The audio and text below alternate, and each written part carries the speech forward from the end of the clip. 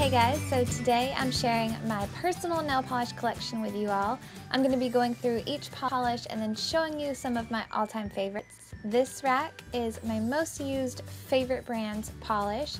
This is my secondary rack with my gels and all different random brands and then I have my cup for my nail stripers. So starting at the top, this is all of my OPI polish. It takes up the top row and then one on the second row. Then you have all of my China Glaze polish. It makes up the second row and then half of the third row here. This is my favorite brand if you can't tell. Then next we have Julep, which I wish I had more of. And then I just have one from Butter London and then it starts my Orly collection, which I also love. Then I have all of my Essie polish. These are amazing colors.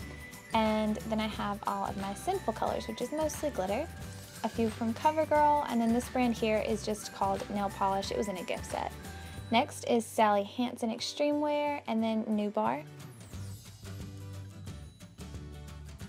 Now I wanted to show you guys some of my top favorites out of my collection. This is OPI When Monkeys Fly, gorgeous gold glitter.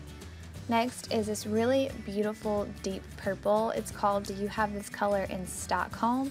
It's a really pretty medium creamy purple that I'm obsessed with.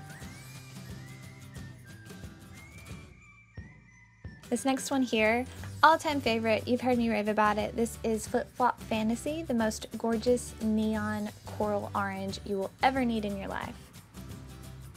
Next, I have my all-time favorite from Orly. This is a bright neon called Glow Stick. The most beautiful bright neon yellow lime green is perfect for summer. And this is my only one from Butter London. This is called the Black Knight. It is a jelly base, which is a black base with purple, pink, blue, and gold glitters all throughout. It is so gorgeous when you apply it. Next is my all-time favorite from Essie. This is called Butler Please.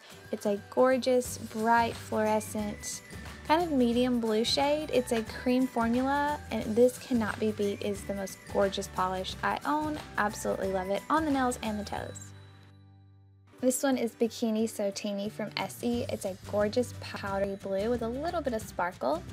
Then one of my favorite lilacs in my collection is this one from Orly. It's called Lollipop. It is a beautiful cream polish that's opaque in one coat.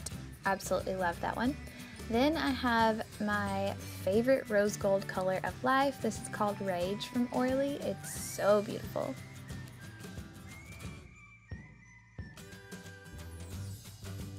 Now this is my secondary rack where I keep my LA colors on the bottom here.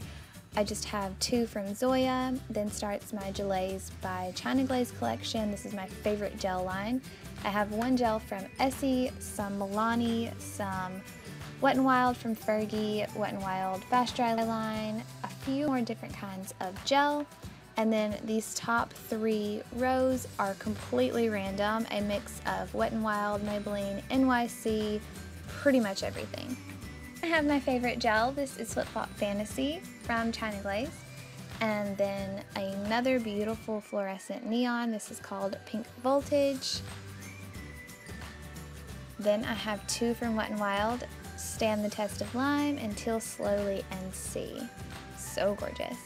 Then I have the most beautiful silver glitter. These are bar glitters. This is called New Year's Kiss. It's the Fergie line from Wet n Wild. These are two amazing products from Gelability. It's a bonder and then a mixer that you can mix with any nail polish and it turns it into gel. I can't live without these guys. I definitely recommend.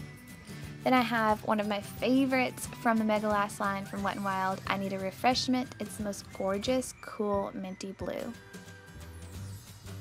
Then I have my nail stripers. You guys know I rave about these. I go through them pretty quickly because they dry up pretty fast, but these are the ones I'm working with now, and I had a, have a lot of backups. I have a couple different brands here. These are my two top favorite brands. The Art Deco line from LA Colors. I am completely obsessed with this. I love the brush. It's a shorter brush. It's easier to work with. And this brand is Kiss, the nail art paints. You guys know I love these as well. I have everything from greens to golds to blacks to whites to silvers. because black, white, and silver and gold are the most used from my collection. Definitely recommend these guys if you want to get into nail art. So that's it for my entire nail polish collection. I hope you guys enjoyed this video. Make sure you give it a thumbs up if you did. And also you can click here on the screen now to subscribe and check out my latest video. And I'll see you all in my next one. Bye guys.